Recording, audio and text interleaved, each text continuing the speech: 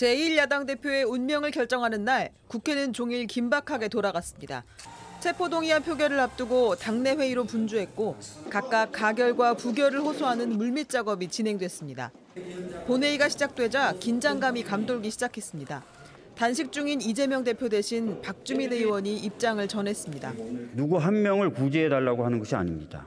민주당을 지지해달라고 하는 것도 아닙니다.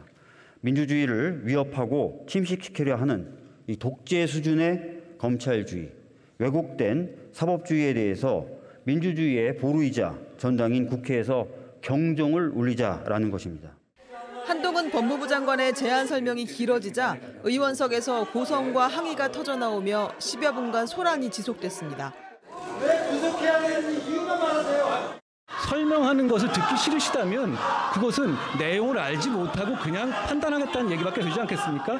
저는 국무위원으로서 여기서 그 내용을 설명할 임무가 있습니다.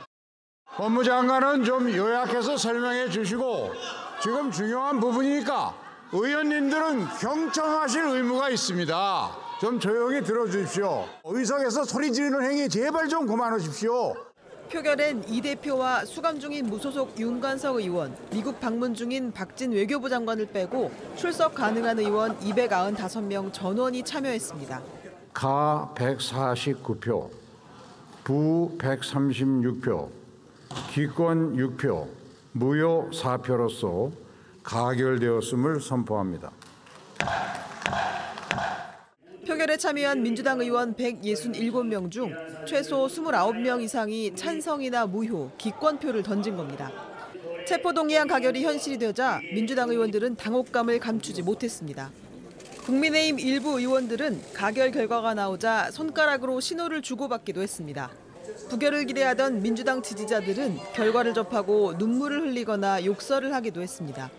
일부 지지자들은 법원의 영장실질 심사에 기대를 걸어보겠다고 했습니다. JTBC 최윤경입니다.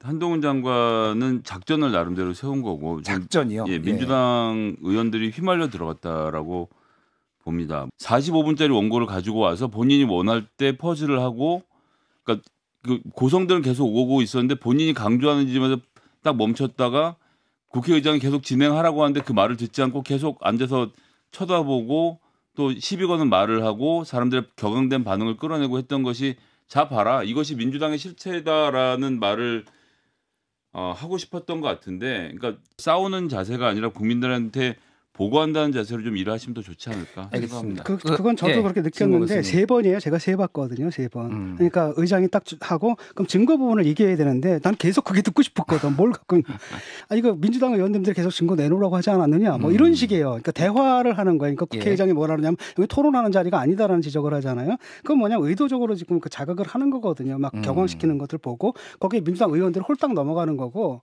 그 뻔히 아는데 넘어가는 거 아니, 아는데도 불구하고 왜 그렇게 할 수밖에 없냐면은 공천 받아야 되거든요. 난그 음. 소리가 소리 박박 지르는 게 저 공천 주세요 하고 외치는 소리가 들리더라고. 아, 네. 알겠습니다.